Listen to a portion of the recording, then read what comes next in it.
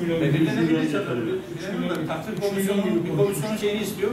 O ayrı o. kamulaştırma için Altında o da Belki meclis böyle bir karar alınan meclisin ne kadar borçlanacağını bilmesi gerekiyor. Tabii, tabii, tabii, Olabilir, tabii. Biz Gider Bankası 3 milyon diye yazdık. Bir Şimdi burada zaten istenen e, Yani alınacak yer o kadar değil de biz biraz fazla şey Evet, evet. o kredinin miktarının da bilinmesi lazım. Evet. Tabii tabii tabii. Bir- Tabii tabii. Evet, e, bu tabii e, hem Sağlık Bakanlığı'nın bizi bu konuda şeyi var, hem de kendi bakanlığımızın da. E, Tabii bu arazimiz e, karşılıksız e, teklif etmeyeceğiz Sağlık Bakanlığı'na. Mevcut yeri de isteyeceğiz onlardan. En azından 8-9 dönümünü zaten mevcut yerin de 8-9 dönümünü belediye zamanında tahsis etmiş. Yani o zaman da vermiş belediye. Doğru değil mi? Evet. Kendi arazisini hastane yapılsın diye vermiş. Nazmi Bey'e sor, bilgiyle ilgili şeyi sorarsanız, e, Sağlık Bakanlığı mevcut yerine yapılmasıyla ilgili şeyi istemiyor. Birkaç arazi gösterdi kendilerine. En uygun olarak burayı bize sundular. E, Mevcut yerine yapılmasıyla ilgili e, sağlık hizmetlerinin aksaması noktasında da ciddi sıkıntılar olacak. Çünkü hastane yıkılacak.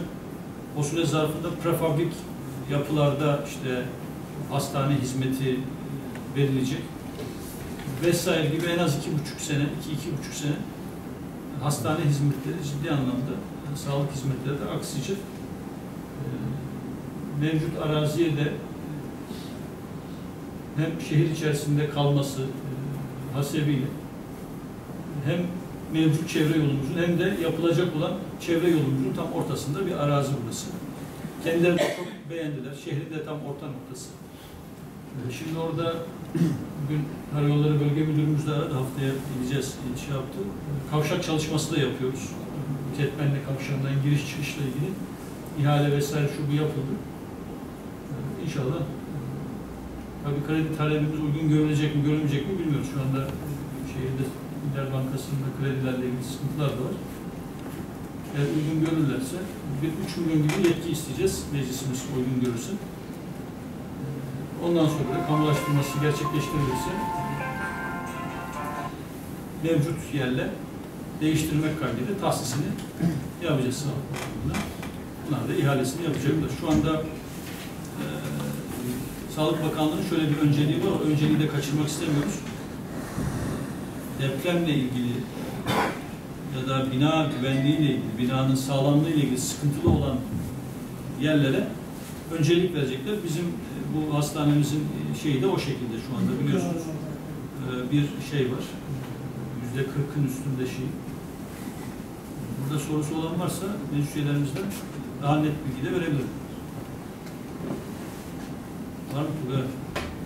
Var. Yok da bir, Bilgilendirme anlamında söyleyebilirim. Belediye evet verebilirsiniz, hayır şey verebilirsiniz, çekimsel kalabilirsiniz o önemli değil yani çok şey değil. düşüncemizi söyleyebilir O sizin tabii ki düşüncenizdir yani saygı duyarız. Hani e, biz şimdi vatandaşlarla e, görüşüyoruz. Genelde e, bize gelen taleplerde hastane yerinin bütün mahalle için ulaşım yönünden de uygun olduğu, hastanenin yanındaki boşluğa hastane yapılamaz mı?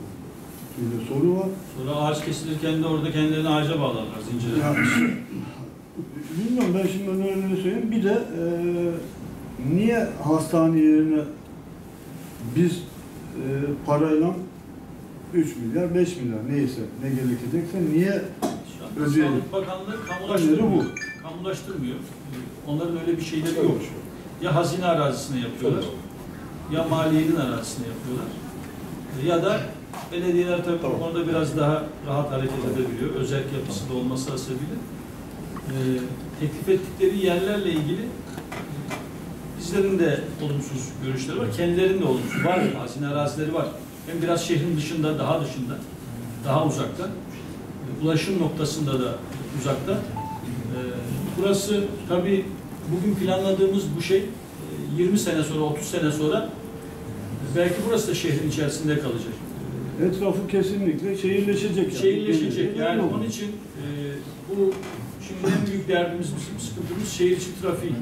Yani SGK'yı taşırken de niye gidiyor dendi ama şu anda vatandaş memnun. Tarım kredi giderken de niye gidiyor dendi. Personel de istemedi. Memnun. Zaten kuş uçuşu baktığınız zaman çok uzun bir mesafeye gitmiyor. Ee, gene e, aynı mahallenin e, sınırları içerisinde bir noktaya gidiyor.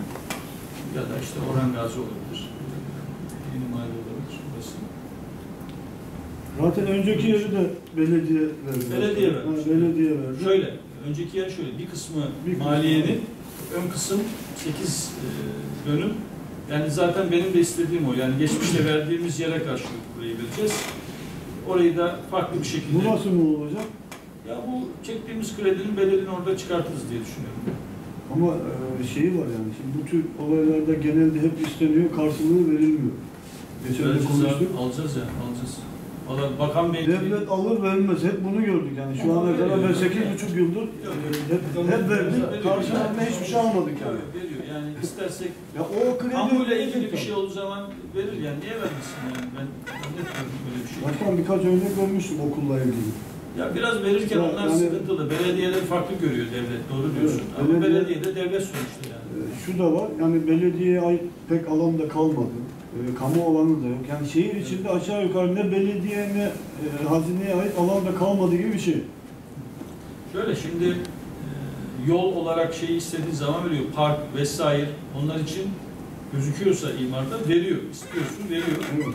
Ama orayı tabii ticari bir şeye döndürmemek kaydıyla veriyor. Ama biz burayı alırken onu serbest olarak alacağız. Çünkü zaten biz vermişiz geçmişte. Ben bunun önden görüşmelerini yaptık. Yani bir senedir buranın imar planının yapılmasını bekliyorum. Ee, Yer sahipleriyle de belli bir noktaya geldi görüşme. Bakanlıkla da belli bir noktaya geldi. Israrla da istiyorlar araziyi. Şimdi Düzce'deki Muncurlu örneğini veriyorlar ama burası Muncurlu örneğiyle bir değil. Yani o çok farklı bir örnek. Ee, bu çok farklı bir örnek. Ee, buraya şehrin her iki noktasından çevre yolundan çok rahat ulaşabiliyorsunuz. Yani şimdi mesela örnek verelim. Ee, Bir Ayazlı'da oturan bir vatandaşımız zaten neyle gidiyor hastaneye? Belediye otobüsüyle veya arabasıyla gidiyor.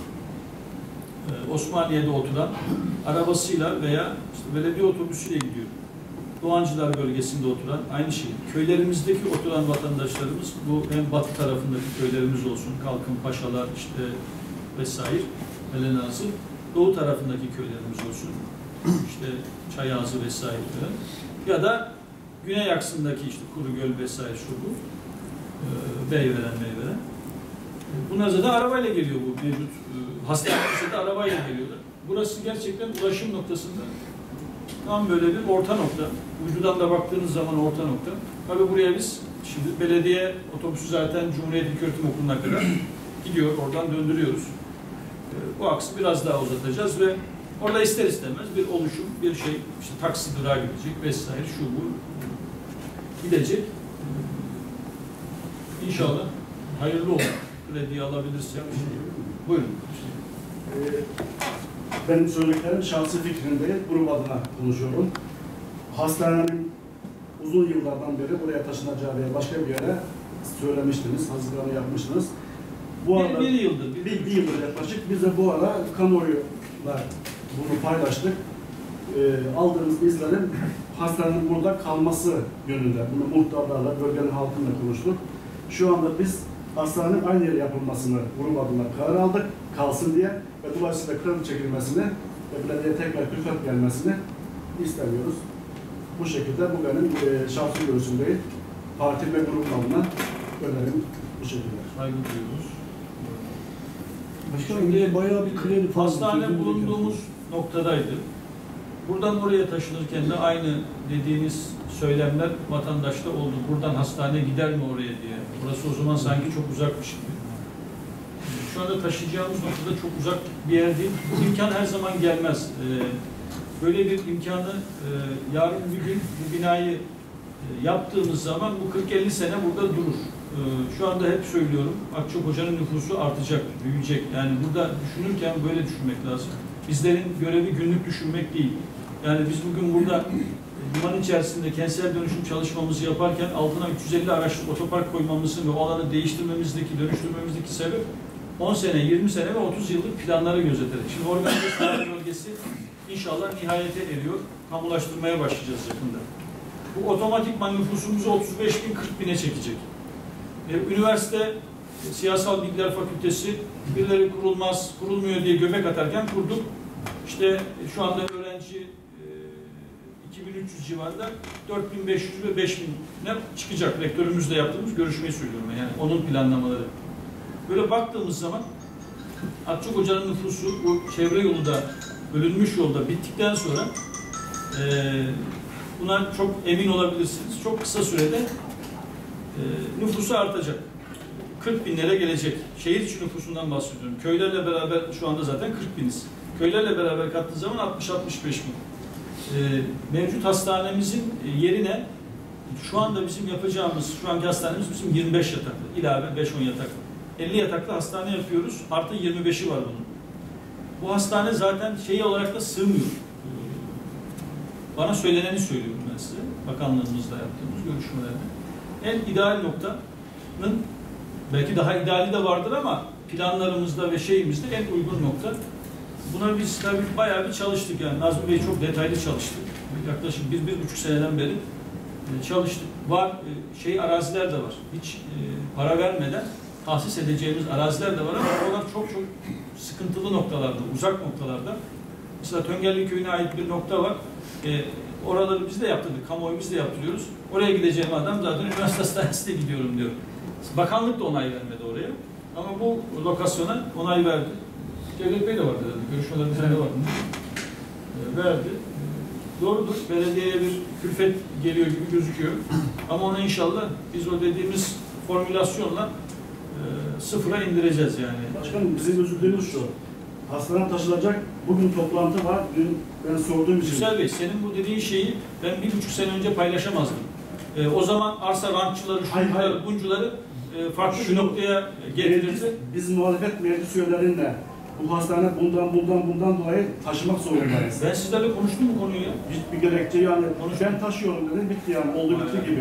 Yok. Yani biz o zaman Bu konu ama dün gelen, dün gelip de bugün meclise giren bir konu değil ki. Bak siz ne dediniz? Bir buçuk, kendiniz söylediniz. Bir buçuk seneden beri bunu buraya taşımayla ilgili dediniz. Ama biz niçin gerekli, hangi gerekçe yol mu? Bir yeri yapılamıyor Şimdi mu? siz öyle şey söylüyorsunuz ki, siz şimdi öyle bir söylüyorsunuz ki, sanki ben bu konuyu dün meclise sokmuşum, krediyi dün soktuk meclise.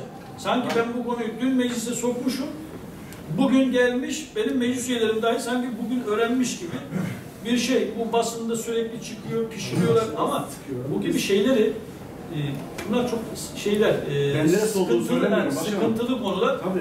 Ama nereyi söylemem lazım ben sana. Yok, söylemem. Taşıyorum. İşte- Nereye taşıyorum yani? Taşıyorsun bir da. taşıma gerekçenizi yani vatandaş taşınmasın işte siz taşıyacağım diyoruz. Niçin taşınıyor? Bunu, bunu tabii bireysel de almış değilim. Benim böyle bir bireysel kararım değil bu.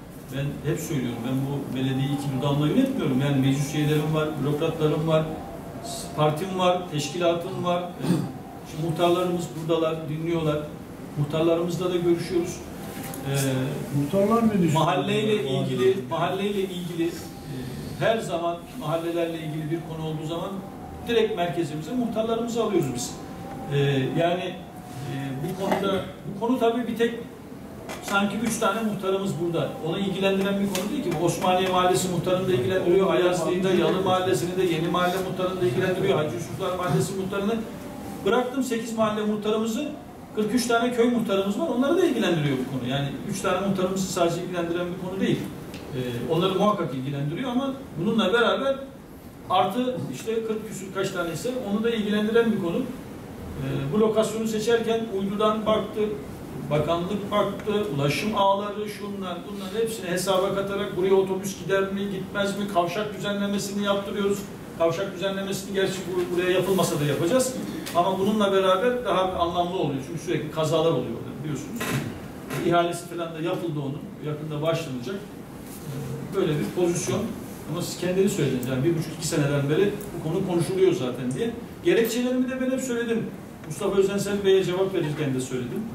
Biz basından duyuyoruz. Başkanım birebir burada tartışmadık yani. da hepsi bize verin onu yani. Yok, sadece bu konuyla ilgili değil ama bazı konular da aynısı oldu. Top, mesela kentsel dönüşümde yetki verdik, her aşamasında bilgi vereceğim dedi. Projeyi biz basından öğrendik. Her aşamasında bilgi verdim. Hayır başkanım basından öğrendik. biz. Şimdi bu gibi konular kentsel dönüşüm ve madem açtın konuyu ben de bilgilendireyim. Şimdi bu konular çok hassas konular. Yani direkt O zaman bize güven yok başkanım. Hayır, hayır. Deyince. ben size güvenmiyor değilim ama bazı konuları ben kendimden bile e, saklı tutuyorum. Yani buna emin olabilirsiniz. Çünkü niye? Şimdi e, ben o zaman kentsel dönüşüm açtığını örnek vereyim. Ben bu konuyu ilk e, aklıma yani projelerim arasında vardı zaten de e, Nazmi Bey'i aldım gittim TOKİ başkanımıza. Bana ilk söylediği şey şuydu. Bunu kamuoyuna duyurdun mu dedi. Daha duyurmadım dedim. Ha tamam. Bu iş olur dedi o zaman. Çünkü niye? Ee, bu işleri önden kamuoyuna duyurduğun zaman fiyatla ilgili sıkıntılar olabiliyor, orada tapu değişimi olabilir falan. En yakınlarım dahi bunu bilmezler benim. Yani bilmemesi gerekiyor çünkü. Neden? Gider oradan alır iki tane dükkan 10 liradan. Sonra ben kentsel dönüşüm ilan ettiririm 40 lira olur. Buna adına rantçılık denir. Allah şükür bizim böyle bir şeyle adımızın yan yana gelmesi zaten mümkün değil. Bu da bir de benim mesleğimle de ilgili bir konuyu da değerli. Allah'tan hastanenin karşısında değil eczanem yani tamam mı? Merkezde. Yani oralarda benim arsam falan da yok. O açıdan da rahatım. Hastanenin taşınması konusu çok hassas bir konu. OSB ile ilgili konu. Bakın biz o zaman Sayın Bakanımız bakan değildi.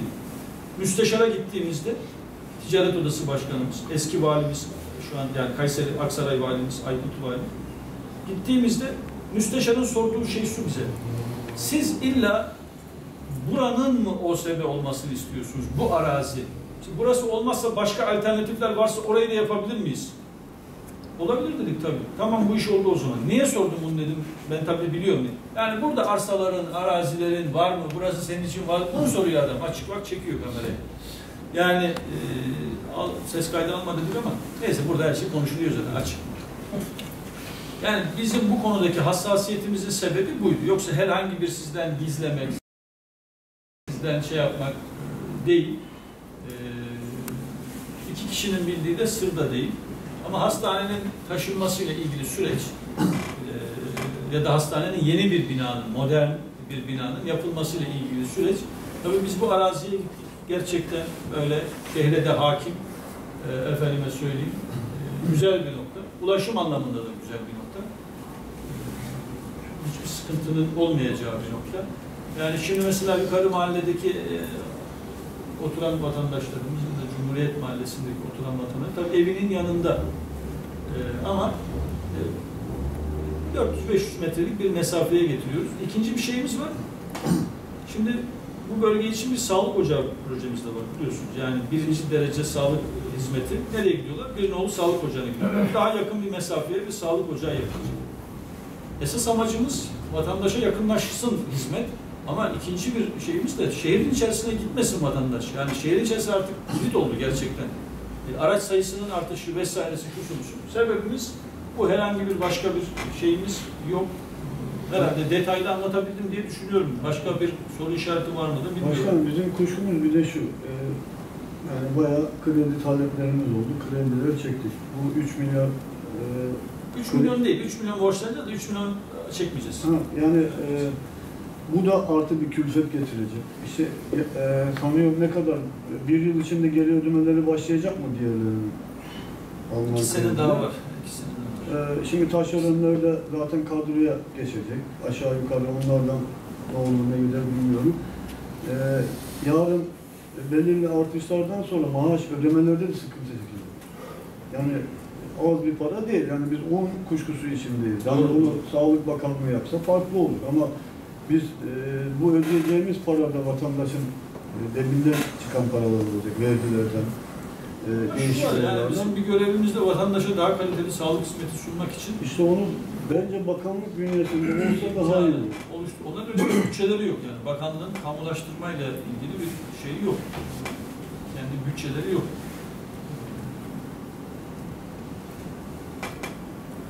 Olmadığı için bunu bizim sağlamamız gerekiyor ama biz bunu bedava vermeyeceğiz dediğimiz gibi. Yani en kötü ne yaparız? Sigortadaki borcumuzu düşürürüz. Araziyi oraya vererek. Hazineye vererek Maliye Bakanlığı'na olan borcumuzu düşürürüz. Sonuçta bu borç. Ama yine söylüyorum benim e, şeyimde mevcut yerdeki o 8 dönüm daha önce verdiğimiz yeri O tür, Alacağız. o tür bir protokol yapılıp gelseydi yapacağız tabii yapacağız. ama işte o tür Adam diyor ki, benim karşımda sen muhatap daha değilsin. farklı bir düşüncemiz olur. Hayır yani. şöyle, muhatap olmam için arazinin senin olması lazım diyor adam. Benim olmayan bir yerle ilgili ben nasıl konuşacağım adamla? Böyle de O bir şey var. sen aldın yapmadı vazgeçti. Bütçem ayıramıyorum dedi. Ya bir şey, ya hani her şeyi konuşuyoruz ya. Belediye hizmet alsın. Belediye hizmet alanı biz alırız, başka bir şey yaparız yani. Çeviririz değere, o değeri 10 kere çıkartırız yani yapmazsak. Yapacağız yani bunu konuştuk da hoş bu şeydi biz buraya e, hiç ön görüşmeler yapılmadan burada bizim arkamızda Sayın Bakanımız var. Sayın Bakanımız, Milli Bakanımızdan bahsediyorum. Milletvekillerimiz vardı. Üç, üçüyle beraber gittik görüşmeye. Ben vardım. işte Nazmi Bey vardı vesaire vesaire. Hoş yani bu şey değil ki devlette söz sözdür. Ee, hastane yapılacak. Bu, bu yatırım programına alındı zaten. Buraya hastane yapılacak. Yani yapılmayacak anlamda bir şey de yok yani. Yapılacak yani.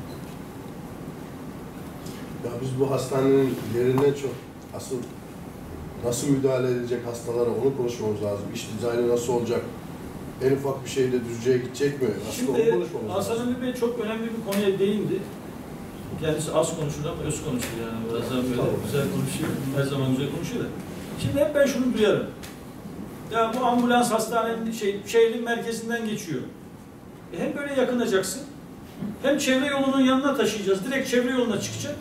E hem de buna itiraz edeceksin. Yani şimdi hislerle hareket edersek ben de burada kalsın derim. Benim evim de Hacı Ustalar Mahallesi'nde. Yakın şıp diye gidiyorum falan filan. Yani böyle mi bakacağız olaya? Yani biz hislerimizle hareket etmememiz lazım. Hem bana o zaman şunu demeyeceksin. Ya ambulans şehrin içerisinden çıkamadı, tıkandı, bilmem oraya kıvrıldı, buraya döndü, şuraya döndü demeyeceksin o zaman. Ya demeyeceksin anlamında derken diyebilir de. ya bunlardan yakılmıyor muyuz biz? Taşıyıcı- Bunlardan şikayet oluyoruz. Doğru mu? Şikayetçi olmuyor muyuz? Şikayetçi oluyoruz. Başkanım taşıyıcı yolların yapılması lazım. Zaten asıl sıkıntı Ya, bu eyvallah. Şimdi bak- bu zaten. Tabii biz ne yaptık? İşte e, hemen e, şehrin içerisine ambulans geldiğinde direkt güney aksına doğru hareketlenecek. Atıyorum Hacı Yusuflar Mahallesi'nde bir vatandaşımız 112'yi aradı. 112 geldi, aldı. Nereden gidecek? Hemen çevre yolundan anında trafiğe takılmadan, ara sokaklara girmeden çıkacak. Hemen sevk edilmesi gerekti buradan. Anında Düzce Üniversitesi'ne hemen sevk edilmesi gerekti. Anında bu yol bittiğinde, bakın 5-10 sene sonrasından da bahsediyorum. İstanbul'a sevk edecek. Buradan gidecek. Hemen bölünmüş yolun kıyısında. Yani böyle bir lokasyonu biz ezbere bulmadık ki yani canımız sıkıldı da gidelim buraya alalım. Kaç tane şey sunduk. Kaç tane alternatifler yani bunu destekleyici anlamda söylüyorum. Şeyler şey yaptık. Başkanım, şimdi bizim muhtarlarımız da burada da çok da rahat konuşamıyor böyle çıkışta döndüler. Şimdi buranın en önemlisi lojistiği. Buraya helikopter konabilecek mi? Burada e, mesela kalp krizi geçiren bir hasta e, burada e, düzce yetiştiremiyoruz. İçini nasıl dolduracağız? Öyle bir Yani- pozisyon oluşabilir. Çok zor. yani. İçini nasıl dolduracağımız çok önemli. Ben açık söylüyorum, benim evimin dibinde hastane. Benim evimin dibinde. Ama Değirmen Ağzı'nın evinin dibinde değil. Dediğiniz gibi Ayazlı'nın de- dibinde değil. Lojistiği tamamlanır, bütün için detayları tamamlanır ve güzel bir hastane olursa 8-10 tane araba, otobüs, Çok, özel hastanelere kalkıyor çocuklar. çok güzel bir hastane olacak. Öncelikle onu söyleyeyim. Ee, fiziki görüntüsü anlamında birinci şeyimiz bu. Ee, tabii doktor olayı daha farklı bir olay. O kadro, madro, şu bu bilmem ne. Ama e, mevcut hastanenin şöyle bir şey var yani eski olması, kullanış anlamında yapılırken de biraz sıkıntılı şeyler olmuş. Buraya gerçekten modern 50 yataklı artı 25 yani 75 olabilecek şekilde bir hastane. Bunda niye yapıyorlar 75? Şu anda biz 25 sınıfındayız. Onlar da daha sonraki senelerdeki nüfus ve yazlık kompozisyon bunu değerlendirerek böyle bir şey yapıyor. Ben açıklamayı yaptım herhalde. Yeterince bir soru işareti olan var mı? Yani 3 milyon için kredi borçlanması için yetki belediye başkanı değil mi? Doğru mu? Oylarınıza sunuyorum. Kabul edenler, kabul etmeyenler. Teşekkür ediyorum.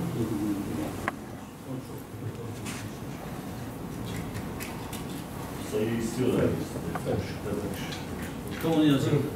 AK Parti grubu.